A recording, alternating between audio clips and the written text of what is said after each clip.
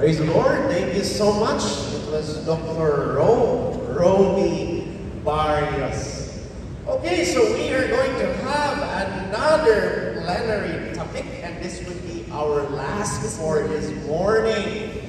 And uh, we have another very important topic, especially since this is GAiN Media Conference Pinag-usapan natin kanina, presentation ni Dr. Romy was about yung pag-pitch, pag-present uh, conceptualization.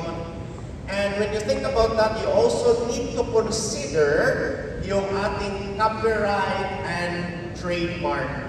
Well, you need to understand properly kung ano yung ipipresent ng ating speaker or presenter in a few moments because kapag naintindihan natin ito, maiiwasan mo yung legal disputes.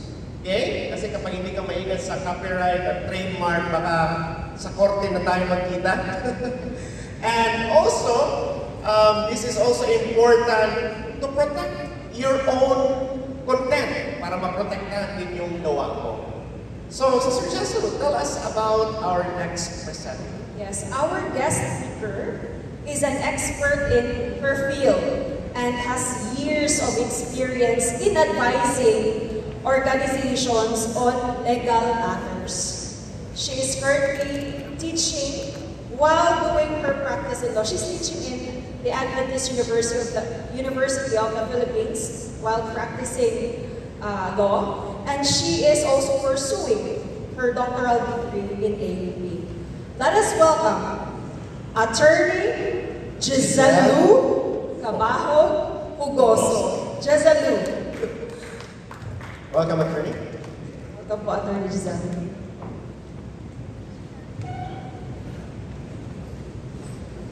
Good morning to everyone. Thank you, Jezalu and Kevin. It's both a joy to work with them in Amazing Facts.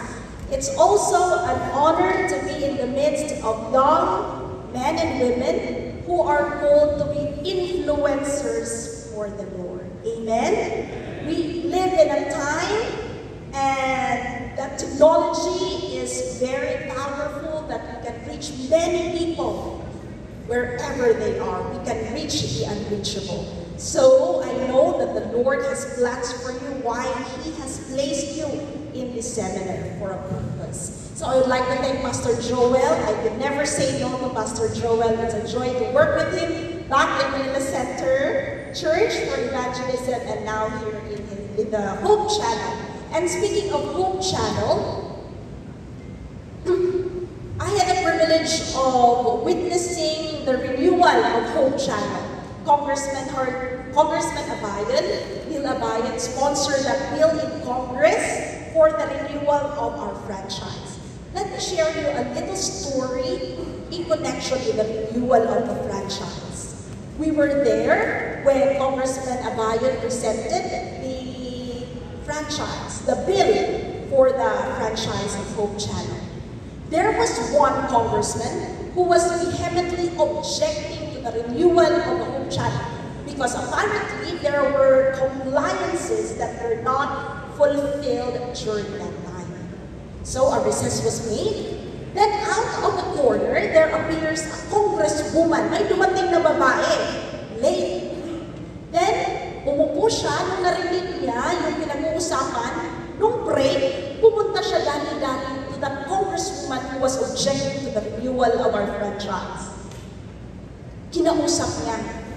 Then after the break, the congressman who was previously objecting said, I respectfully withdraw my objection.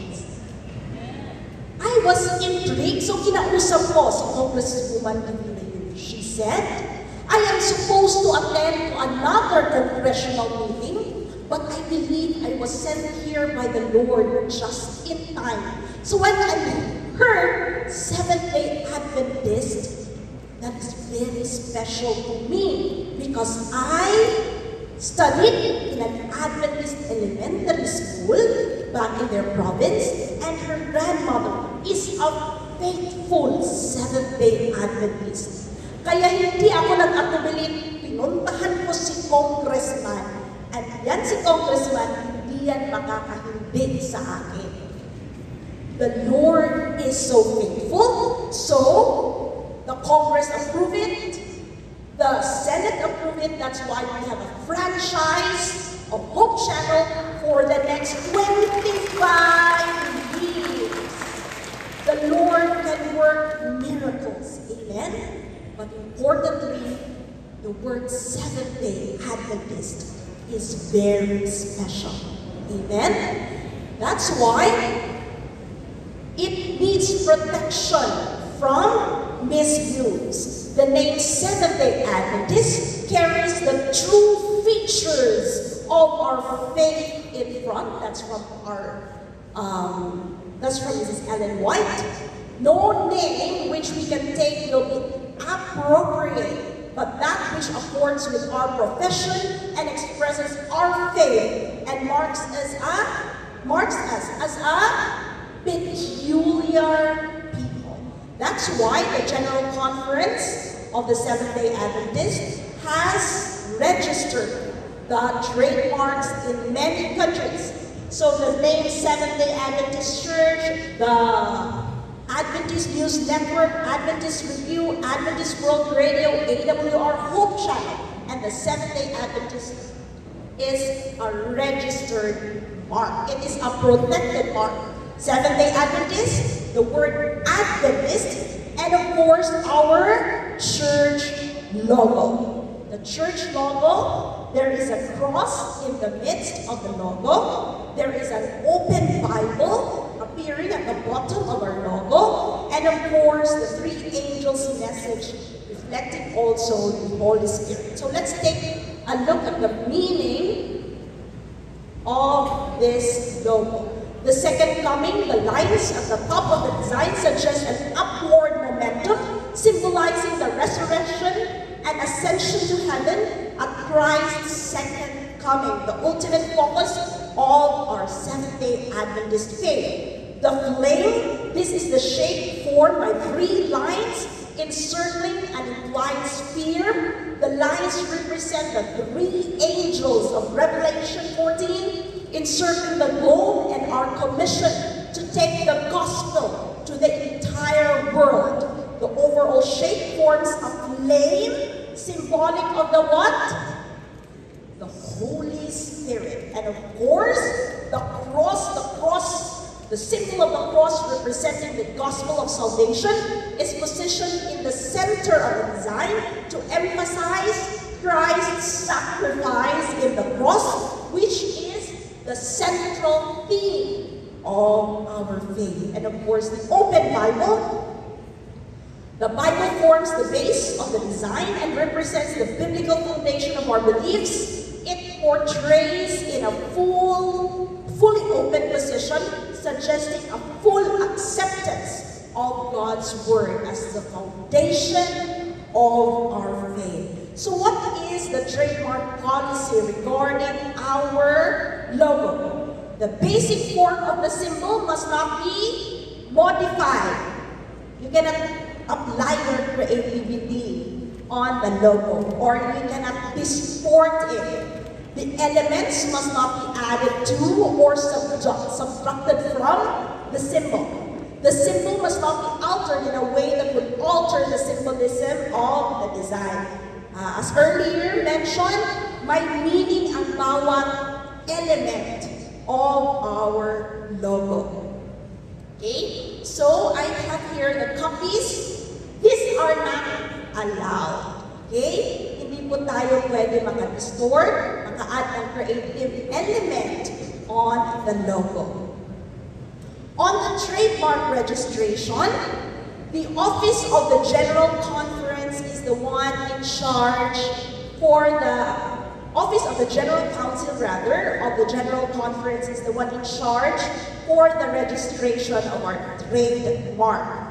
Unless approved by the GC in advance, all registration should be made in the name of the General Conference Corporation of the Seventh-day Adventists or the General Conference of the Seventh-day Adventists. Okay? Here in the Philippines, ang registration po ay nandoon sa Intellectual Property Office of the Philippines, the IP office. So dyan po. And I had here a slide presentation of the Philippine Trademark Database. Ito po. Nandyan po ang Adventist, duly registered, the Seventh-day Adventist, yung buong name, and of course, our logo. So it is protected. So, because it is protected, what are the rules governing the use of our logo and the use of our name?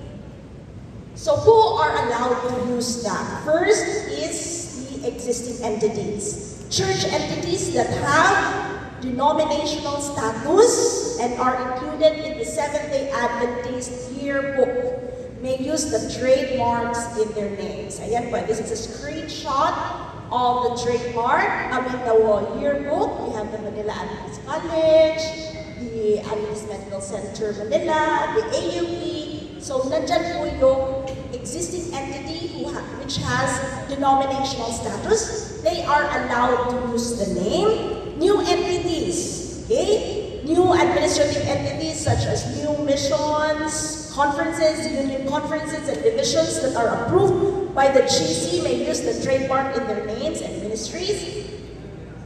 Local churches and companies may use the trademarks in their ministries once their status as such has been approved by the local conference or mission. So there should be approval. Question. How about lay and professional groups? Can they, uh, they are Seventh-day Adventists, can they organize and go to the Securities and Exchange Commission and have their names registered with the name Adventist? Pwede ba yun? Teacher ako.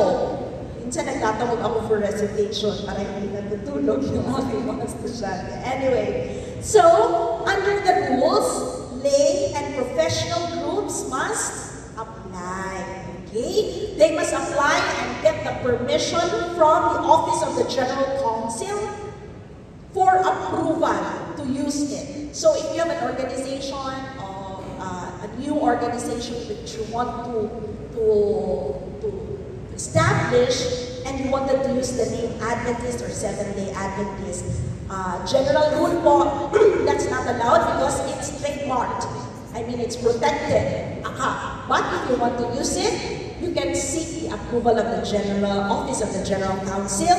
What will the GC do? They will look at your articles and bylaws that will indicate that you are independent of the church and not an agent of the church. And after receipt of the written notice from the General Conference, they will, there is a pulatilia that this, their organization is for non-commercial purposes. So it, not, it must not be engaging in profitable ventures. the church also reserves the right to revoke the use of the name for cause. This includes but is not limited to conflict with the objectives or doctrines of the church as determined by the General Conference and once it is used for commercial purposes by non-church groups. So, the trademark policy of our church is that all use is subject to the General Conference approval, particularly the Office of the General Counsel. Registration should be in the name of the GC Corporation with use by a related entity subject to GC approval, and any entity wishing to register must consult and coordinate with the OGC, and the use is for organizations that has denominational status and listed in the yearbook. So how does our church protect the trademark, the use of the name? So, we are advised that every level of the church is to help protect the church name and their uses, as well as the church logo and its use. Uh, you are in the internet, you have the ability to uh, uh police and to see people using it, so personal communication with innocent infringers, that may be your role. And of course, if we can raise this to the office of the General Counsel. There is a case uh, where here is the Creation Seventh-day Adventist Church. This is from Africa that they later branched in California. So, the Office of the General Counsel of the Adventist Church filed a cease and desist petition for this church to stop using the name Seventh-day Adventist Church. So the law, of the court in the United States issued a cease and desist order. The pastor in that church continues to use it. So he was given uh, an order to remove that, otherwise he will serve jail time. So these are just a few success of the General Conference in uh, protecting the use of the word Adventist. However, there are also many, I've seen here in the Philippines, they use some denomination using the name seven. We have raised that matter to the GC hopefully we can be, that can be addressed. Hmm, another question, can the logo that we described earlier, can that be used in the tombstone? Yan gamitin? Can you use that emblem in our tombstone? Sa lapida, pwede ba yan gamitin? Okay? Of course, that's allowed. Deceased church members who are regular standing upon death may have their denominational logo placed on their tombstone as an emblem of their belief. You are convinced, so you can you can remind your your loved ones to place that if that is your desire. So the size must not be so big. It should not be larger than 3 by 3 inches or 8 by 8 centimeters. So, copyrights and trademarks are, are part of the intellectual property that are protected by the state. Here in the Philippines, we have the Intellectual Property Code of the Philippines. This law seeks to protect and, secure the exclusive right of scientists, inventors, artists, and other gifted citizens to their intellectual property and creations, particularly when it is beneficial to the people for such periods. So, this protects you as a creator of those um, intellectual property. So we go to copyright. Copyright is the legal protection extended to the owner of the rights of an original work. So, you can assert copyright only if it is an original work. Original work refers to intellectual creation in the literary, in the scientific, and artistic domains. So we have books, we have letters, dramatic compositions, musical compositions, with or without um, lyrics or without words, drawings, paintings, uh, work of arts, original designs, Okay? So these are part of copyright. These are protected under the copyright law of the Philippines, the IP law of the Philippines. In fact, the IP law grants authors, artists, and other creators automatic protection from the moment it is created. So the protection begins upon its creation.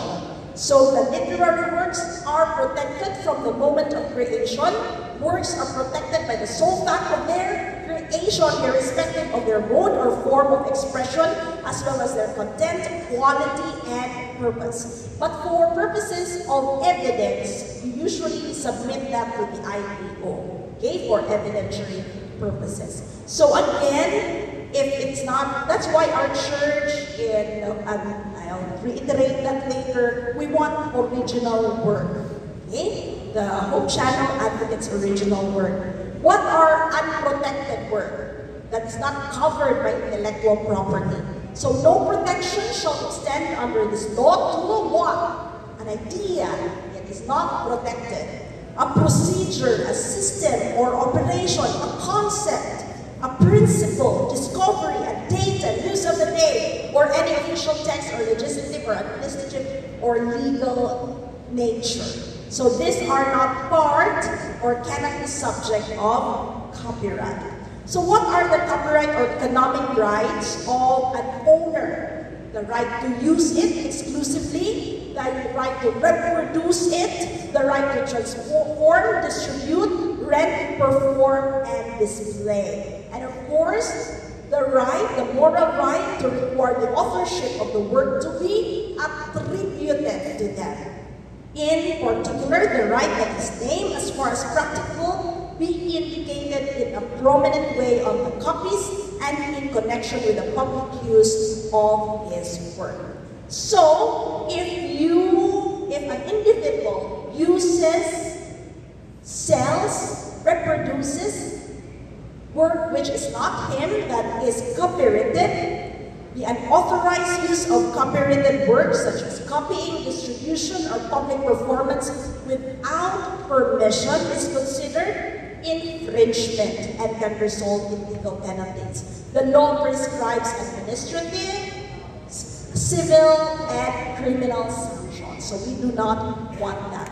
But of course, there are limits to copyright. The following acts shall not constitute infringement of copyright. What are these? The recitation or performance of a work once it has been lawfully made accessible to the public, if done privately and free of charge, and if made strictly for charitable or religious institution or society that is outside the purview of the protection granted by law. What else? The reproduction or communication to the public by mass media, articles of current political, social, economic, scientific, or religious topic, lectures, addresses, and other works of the same nature which are delivered in public if such news is for the information purposes and has not been expressly reserved, provided the source is clearly indicated. What else? The inclusion of a work in a publication, broadcast, or other communication to the public, sound recording or film if such inclusion is made by radio administration for teaching purposes and is compatible with fair use, provided the source and the name of the author is appearing in the work are mentioned. So those generally in educational institutions, those for universities, including broadcasts for the use of such school, universities or educational institutions are not covered. So what is this fair use doctrine? The fair use of a copyrighted work for criticism, comment, news reporting, teaching, including multiple copies for classroom use, scholarship, research, and similar purposes is not infringement of the copyright. This is from the intellectual property law. In determining whether the use made of a work in any particular case is fair use, the following factors are considered. The purpose and character of the use, including whether such use is commercial nature, or for non-profit educational purposes, nature of the copyrighted work, the amount and substantiality of the portion used in relation to the copyrighted work as a whole, and the effect of the use upon the potential market for, for or value of the copyrighted material. For our Hope channel, I have lifted these guidelines so, in Christian respect for ownership and for the loss of our land, Project Home participants are requested to carefully ensure compliance with international laws governing creativity and intellectual property, just as we respect laws governing physical property.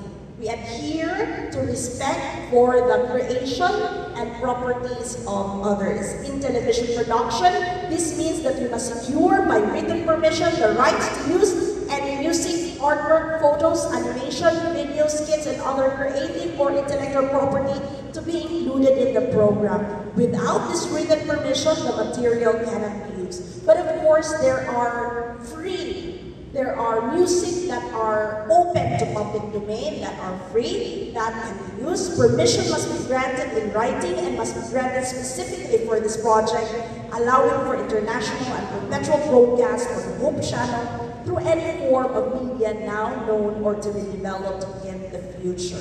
So we, our position is that as much as possible, we adhere to the laws governing intellectual property, especially in the making of our work. Care for the rights of the creators of intellectual property or for the rights of individuals over where their image appears and respect for the laws of our land are in harmony with our Christian principles.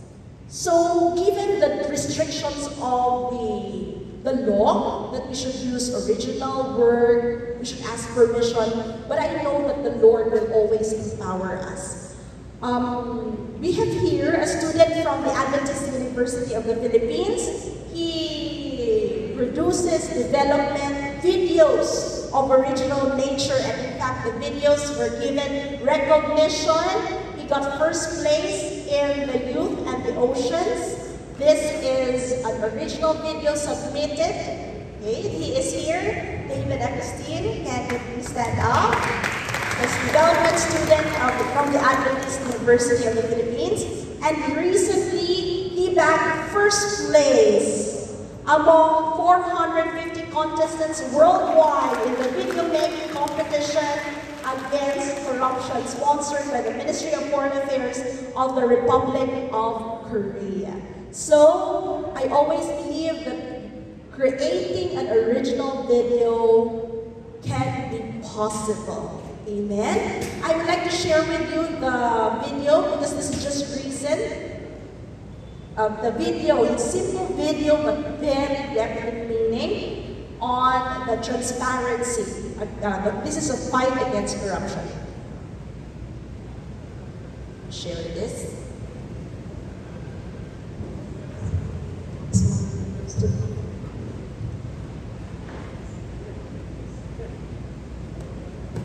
Perhaps you can invite him over and share with us. He also crafted a video on intellectual property.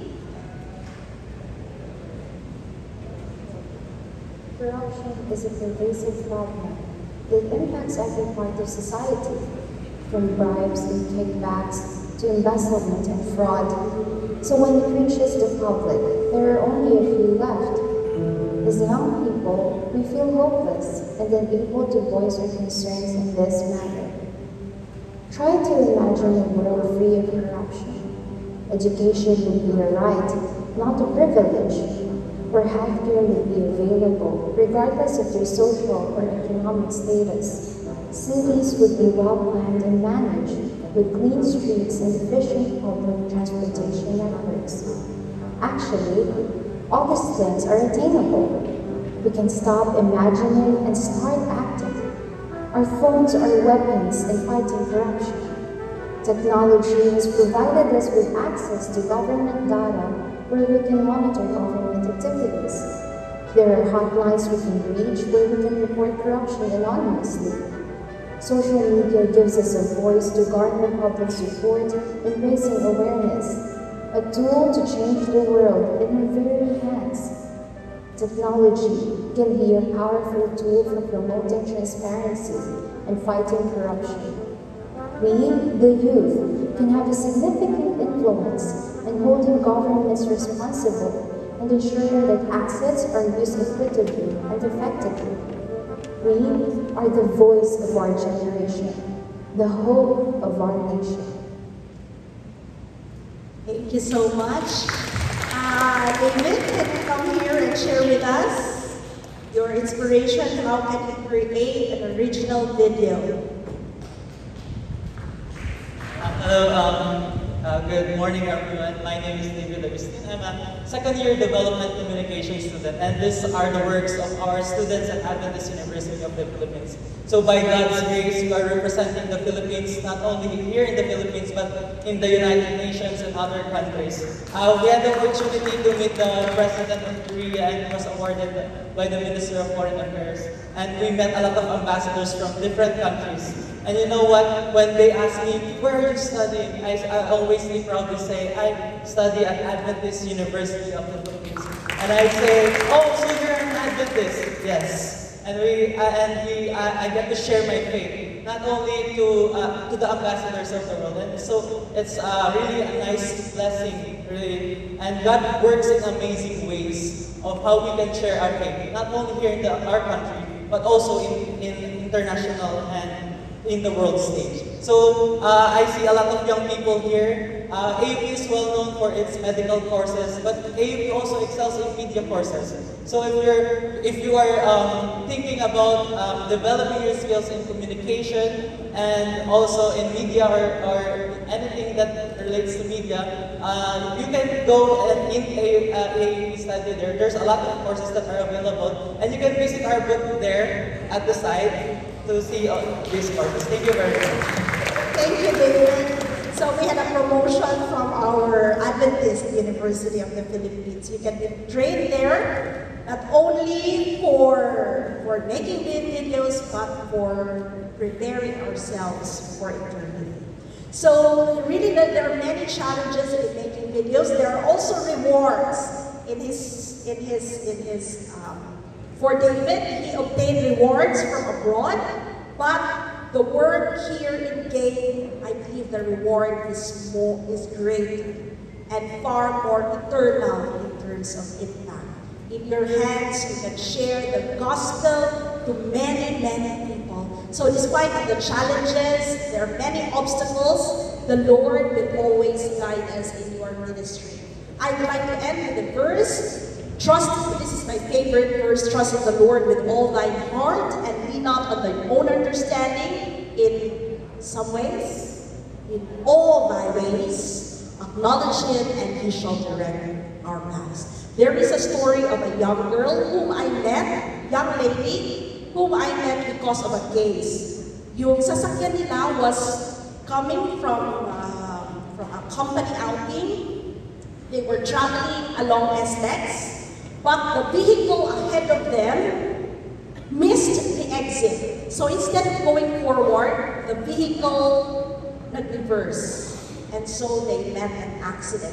He was sitting in front of the van, so the, the collision was so was so immense that his her feet rather has to be amputated.